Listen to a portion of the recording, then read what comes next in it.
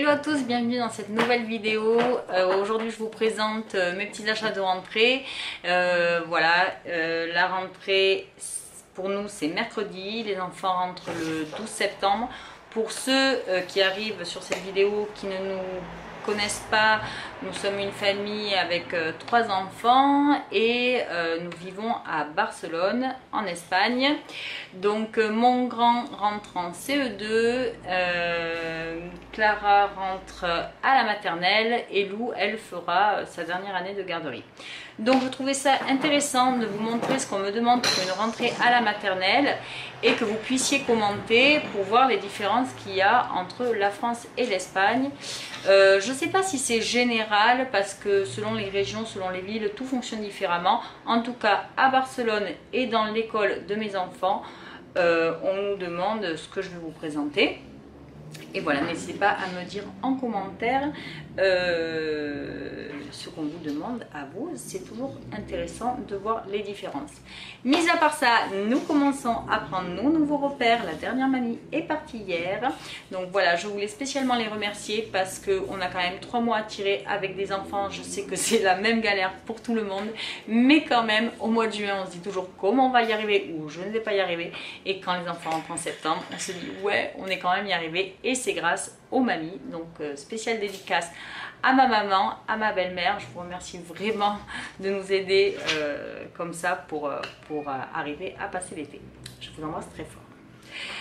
Voilà, petit aparté, je commence de suite avec tout le matériel qui est demandé pour Clara pour la rentrée, pour l'entrée en maternelle.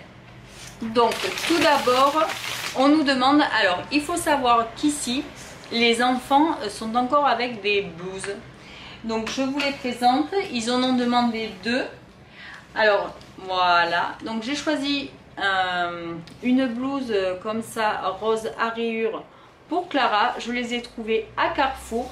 Il me manquera plus qu'à faire broder. Il demande à ce qu'on brode euh, son prénom en lettres majuscules.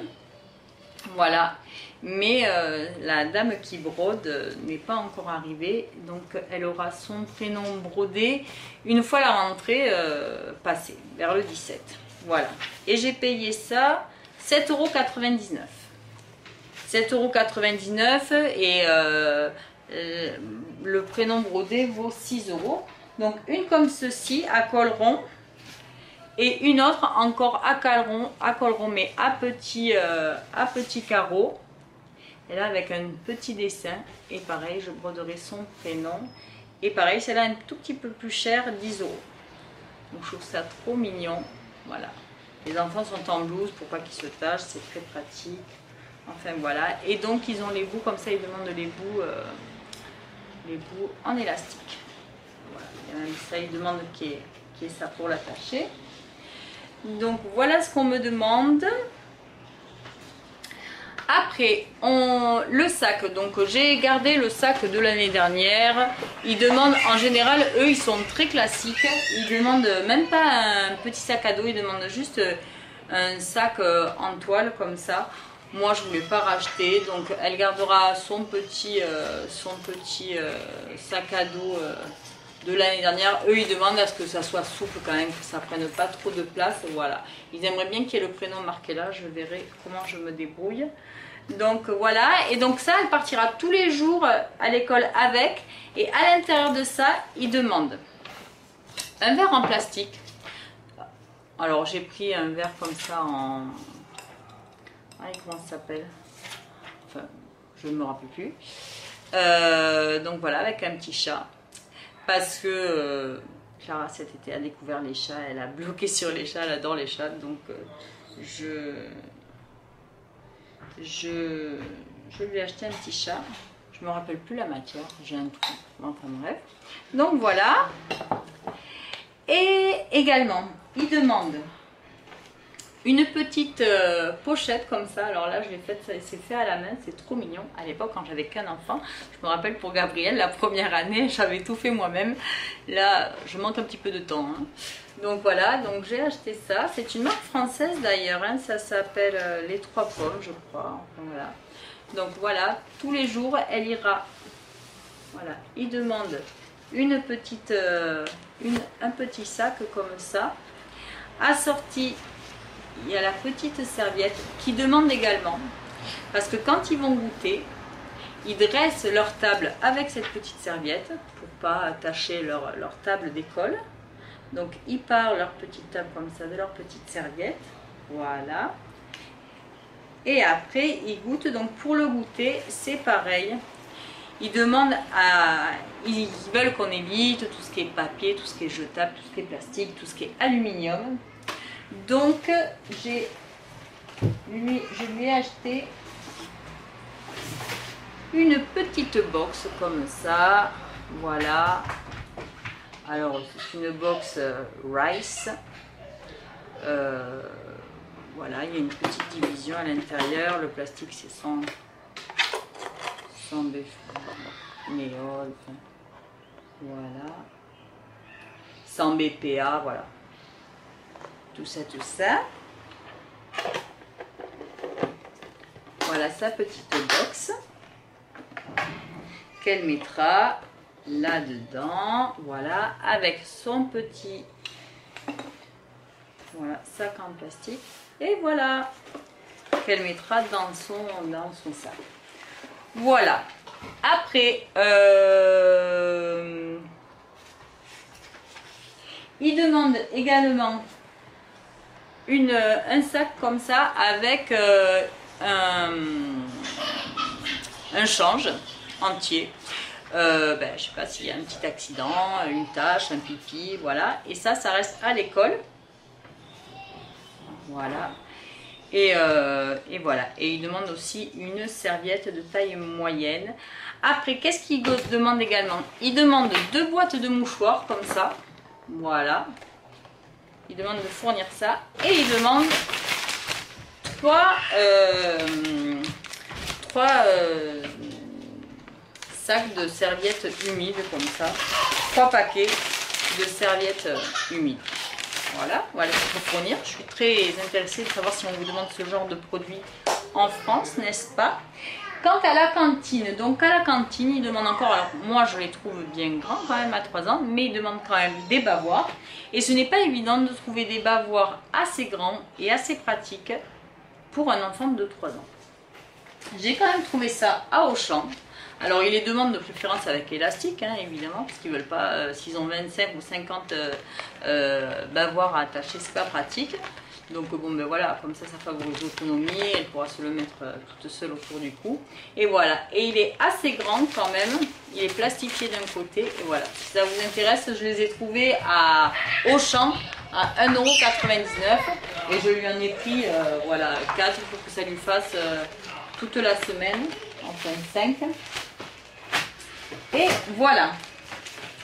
Donc je crois que c'est à peu près tout. J'ai fait à peu près le tour pour euh, ce qu'on demande euh, à Clara. Après il demande oui euh, un, drap un drap housse parce qu'ils font encore leur, la, sieste.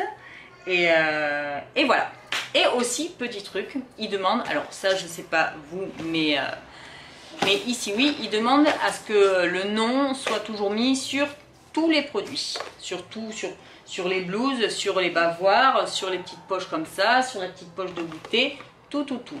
Donc, j'ai trouvé des tampons et ça me fait gagner un temps fou. Je vous montre comment ça se présente. Donc, c'est la marque d'Hydra, je vous ai acheté en ligne, sûrement que vous pouvez aussi euh, Ça se présente comme ça. Voilà, donc moi je lui ai fait mettre son prénom, son nom, je vous le montre pas, avec une petite, euh, une petite fille comme ça. Et c'est un tampon, c'est hyper pratique, ça va super vite. Et pour Lou, je lui ai choisi, voilà, comme ça, avec un dessin un peu différent. Et voilà, donc voilà, petit conseil des tampons, ça va super vite, plutôt que de repasser les étiquettes. Donc voilà, c'est tout ce que tout ce que j'ai pour Clara. Euh, comment va se passer la rentrée? Donc, il nous demande de venir à 9h. De 9h à 10h30 le premier jour, les familles rentrent avec l'enfant et je resterai avec elle pendant une heure et demie pour rencontrer sa maîtresse, pour voir les lieux, pour, euh, passer du temps comme ça entre l'enfant, la famille et l'école. Voilà, donc euh, pareil, hein, mettez-moi en commentaire si les familles suivent le premier jour d'école et combien de temps. En tout cas, pour nous, ça sera de 9h à 10h30 ou 11h30 peut-être. Enfin, 1h30, 2h avec la famille. Ça, c'est le premier jour. Le deuxième et troisième jour, euh, l'enfant rentre de 9h à 12h30. Il n'y aura pas de cantine pour faire une, adaptation en douceur. Donc, j'irai la rechercher à 12h30 et je la ramène à 15h et elle sort à 16h30. Voilà, ça, ça sera pour le jeudi, vendredi et le lundi qui suit. Euh, le 17, il me semble. Là, elle rentrera vraiment du matin jusqu'au soir avec la cantine. Voilà, voilà. Donc, n'hésitez pas à me laisser des commentaires pour me dire à peu près si vous savez ou comment ça se passe euh, la rentrée en maternelle. Donc, voilà, ça c'était pour Clara. Maintenant, Gabriel. Donc, Gabriel, il rentre en CE2. Et donc, comment ça se passe dans son école? Alors, il n'y a pas de matériel. C'est-à-dire que mon fils, c'est pas comme en France, il n'a jamais eu de trousse, il n'a jamais eu de stylo, on lui a jamais demandé de cahier, on lui a jamais demandé de classeur, on lui a jamais rien demandé. En fait, c'est l'école qui gère. Donc, on paye le matériel, c'est à peu près 180 euros à l'année, qui divise en trois mensualités et qu'on paye un mois sur deux. Donc, il y a, euh, je crois, octobre, décembre et février. Et après c'est fini, on paye en trois fois 180 euros. Et c'est l'école qui fournit euh, le matériel, donc euh, j'imagine qu'en classe, eh ben, on te met un pot avec des stylos, des feutres, des feuilles, des cahiers, voilà quoi. Et je trouve ça pas mal parce qu'au lieu de penser matériel individuel, ça fait un peu matériel euh, commun quoi. Donc voilà. Donc, et puis ça t'évite toi euh, d'aller euh, acheter tout le matériel, perdre ton temps et tout. Tu n'as rien à gérer à part à payer le matériel. C'est l'école qui gère tout. Donc je trouve ça plutôt pas mal et très reposant. Néanmoins, je lui ai quand même acheté un sac à dos donc euh, j'ai choisi euh, ben, l'ISPAC, hein, le, sac à dos classique qui est euh, garanti 30 ans. voilà, donc je suis très contente, je l'ai trouvé à Auchan pour 33 euros, alors que moi je l'avais vu ici à Barcelone à 50 euros. Donc ben, je me suis dit, ben, pour 20, euros de moins, ça vaut la peine. Voilà, c'est lui qui a choisi la couleur, il a voulu très coloré, que ça pète. Et voilà, donc voilà. Pour Gabriel, c'est absolument tout. Et ils nous ont fait acheter euh, le cahier d'anglais. Enfin, ça, c'est le, le cahier d'exercice. Et c'est tout ce qu'il demande. C'est absolument tout. Après, je vous montre quand même, je lui ai acheté des petites affaires neuves pour la rentrée. Donc, c'est pas non plus dans la culture, ici en tout cas à Barcelone, d'habiller l'enfant. Euh, bon, en même temps, il n'y a pas de, chèque de rentrée non plus comme, comme en France, qui peut aider à consommer. Donc c'est pas vraiment, en tout cas ici à Barcelone, c'est pas vraiment dans les mœurs de habiller euh, tout neuf euh, son enfant. En tout cas pour Gabriel, je lui ai acheté un petit t-shirt comme ça chez Kiabi à 3 euros. Et, euh, et un petit Bermuda comme ça à 9 euros de chez Kiabi aussi. Donc voilà, ça lui fera sa petite rentrée. voilà. Je lui ai acheté aussi des petites baskets. Et et voilà, pour les filles, je leur ai rien acheté du neuf. je trouve que ça fait moins de pression, non? Parce que quand on s'habille euh, tout neuf comme ça, on a l'impression qu'il y a quelque chose d'important qui arrive, ça, peut stresser. En tout cas, euh, moi ça me stressait un petit peu cette histoire de on s'habille tout neuf, etc. Ben, dites-moi vous dans les commentaires si ça vous fait cet effet. En tout cas, voilà. Je pense que j'ai à peu près tout présenté. Euh, voilà, c'est pas, c'est pas énorme ce qu'ils demandent. C'est des petites choses comme ça. Euh, pour Lou, euh, ils ont demandé un gobelet. Alors pour elle, je vais acheter le même avec un petit chien parce qu'elle préfère les chiens. Et voilà, elle a à peu près gardé toute l'année dernière. J'ai eu rien à dépenser pour Lou. Voilà, donc je vous laisse me laisser en commentaire euh, les différences, vos avis, ce que vous trouvez bien, ce que vous trouvez pas bien, comment ça se passe en France. Et, voilà, libre à vous. voilà, cette, cette vidéo Back to School est terminée. Euh, n'hésitez pas à liker, à commenter et à vous abonner si ce n'est pas déjà fait. Je vous dis à très bientôt pour une prochaine vidéo.